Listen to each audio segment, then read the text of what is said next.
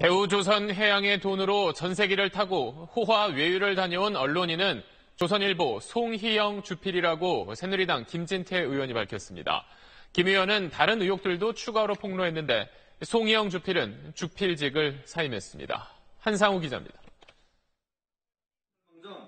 새누리당 김진태 의원은 지난 2011년 9월 대우조선해양의 출장비로 호화 외유를 다녀온 언론인은 조선일보 송희영 주필이라고 공개하면서 또 다른 의혹을 제기했습니다.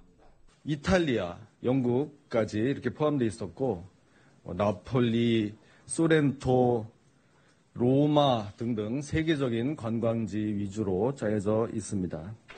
김 의원은 송주필이 남상태 전 대우조선 해양 사장 연임 로비 혐의로 구속된 박수환 뉴스 커뮤니케이션즈 대표와 영국에서 골프도 쳤다고 밝혔습니다. 하루 빌리는데 3,300여만 원인 호화 유람선을 타고 이탈리아도 여행했다고 주장했습니다. 왕복 항공권은 1,200여만 원짜리 1등석이었고 특급 호텔에 묵었다고 전했습니다. 송주필과 박 대표의 8박 9일 외유에 대우조선해양이 2억 원 정도를 부담했다고 김 의원은 밝혔습니다. 송주필의 부인이 대우조선해양의 선박 명명식 행사에 참석한 것도 수상하다고 주장했습니다.